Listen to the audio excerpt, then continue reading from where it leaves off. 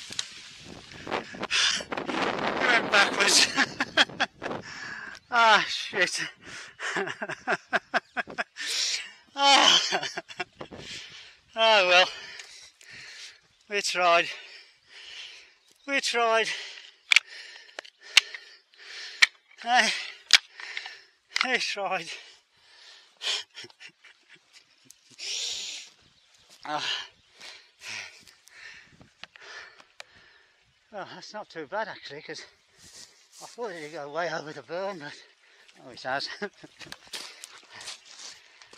has. that'll do. I'm bothered about that. That's fine. I'm happy with that. Try and get. It was caught behind the back of this swim here. Um, oh, I didn't have a lot of holding wood. They were just standing up, upright. and um, I it's all the, all the lump out here. Now, if I can push it off this stump with a, with a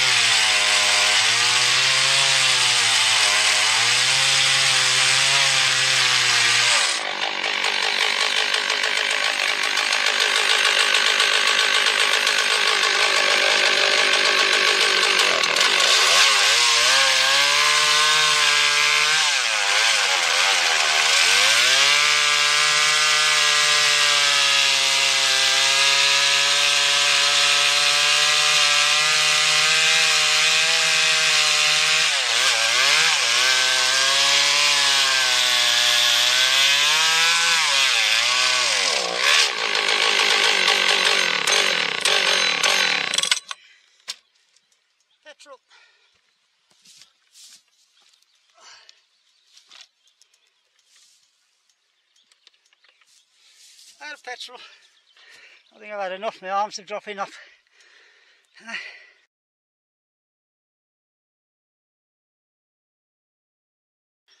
Right, that's the biggest tree I've took down. Only problem was it went the wrong way. uh, the limbs were tied up behind there. And then the, the uh, oh, what do they call it, down the middle? The hinge. I went through the hinge and then it just snapped off the far end. But uh, I knew where I was going behind these here. So it didn't come out too bad. It's actually a better place to uh, sned it all up, delimit as you'd say.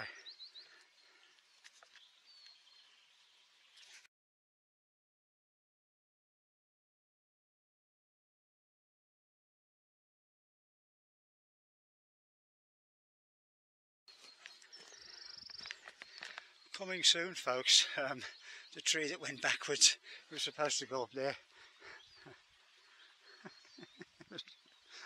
It went down there. Not to worry